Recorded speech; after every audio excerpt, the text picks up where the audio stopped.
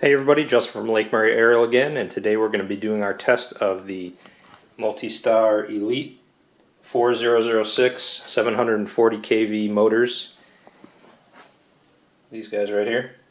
And as you can see, our test platform is going to be a Tarot 680 Pro.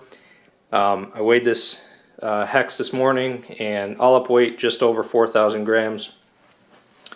For batteries, we're going to be using two 8 amp hour uh, multi-star batteries in parallel, so a total of 16 amp hours. Uh, these are 4S batteries. And uh, again, since they're the multi-star line of batteries, these are only 10C, but still 160 amp uh, total output, more than enough for this platform. Uh, for props, we got 13 inch uh, multi-star woods, and these are 4.4 inches of pitch, so 1344 multi-star propellers. So what we're going to do for this test is uh, we're going to take the hex outside, I'm going to put it in a GPS hover, and uh, we're going to record total length of uh, hover time, and also going to use our uh, infrared thermometer here to get uh, total motor temperature after uh, we land above baseline. so let's go ahead and go outside and put these things to the test. Alright, so we're outside and hex is powered up and we have GPS lock.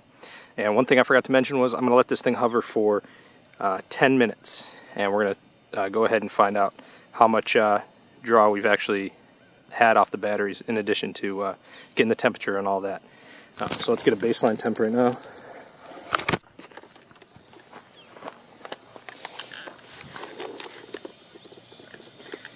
And don't know if you can see that, but it says 79.7 degrees. Yep, 79.6. Alright, so we'll go with that. And uh, I'm going to go ahead and fire it up. See him spinning. Sorry about this, only got two hands.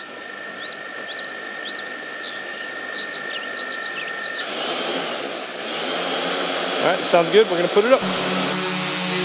Alright, so we're a few minutes into the hover test. You can see her hovering nice and smooth. Sounds good. Got a little bit of wind, but not too much today, so it's pretty solid.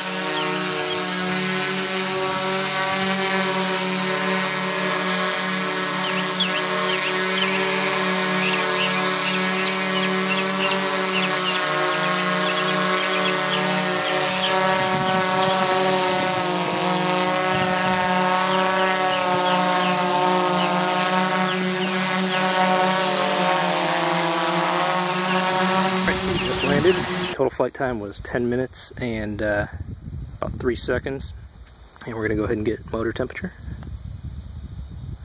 I don't know if you can see that, but 74 degrees. So they're literally the exact same temperature as when I took off. Uh, they're not warm at all. And hovered smooth throughout the whole thing. Sounded great. Uh, one thing I love about these motors is when you spin them up and then uh, you know, disarm the motors, uh, they all spin down at the same time. All right, there's no, uh, you know, like lazy motor indicating maybe a bad bearing or something. Um, so we'll go inside, find out the total draw off the batteries, and see how long uh, or how much battery it takes to hover for 10 minutes. All right, so we're back inside, and I have recharged both batteries, and now we can go and take a look at uh, the data we got. All right, so our all-up weight for this test was 4,037 grams. All right, it was actually 8.9 pounds. Google gives me that uh, when I translate from pounds into grams. All right, our starting voltage was obviously a four-cell battery, so 16.8 volts, 4.2 volts a cell. Um, our loaded voltage, all right, so as we're coming down into land, uh, IOSD was giving me this. Uh, so batteries had 14.9 volts or 3.7 volts a cell.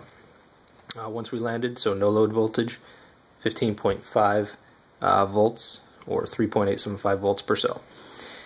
Alright, uh, like we saw in the video with the uh, infrared thermometer, temp at takeoff was 79 degrees and uh, temp at landing was 74 degrees in Fahrenheit. Uh, so they did not heat up at all alright, in that 10 minute hover test. Uh, flight time was 10 minutes again and this is how much milliamp hours we put back into both batteries combined. All right, so 6,494 milliamp hours were recharged into both batteries. All right, so for our 10 minute hover test, we used a total of 40.6% of the capacity of those uh, 16 amp hour combined four cell multi-star batteries. Um, that's pretty impressive to me. Uh, so good flight times considering the weight we're dealing with here, and uh, you know, considering these motors, you know, ran, they did not heat up at all um, carrying that load. Uh, I have confidence that they can carry uh, considerable additional payload uh, based on this performance. And yeah, I know it's it's just a hover test. It wasn't uh, mixed flight time. Um, but bottom line, these are good numbers, and the motors perform. Um, my Tarot 4006 motors doing the same test uh, would have came down hot, no doubt about it. Um, so I'm going to go ahead and give the Multistar Elite 4006 740 kVs five crowns on Hobby King. Uh, I think they're great motors, and at like you know 36 bucks or two bucks, whatever whatever they cost, I forget, but uh, I think they're a great deal. So I'm gonna go put my review up there now. Hope this uh, video helps someone pick some good motors. I think the Elites are really good. Thanks for watching.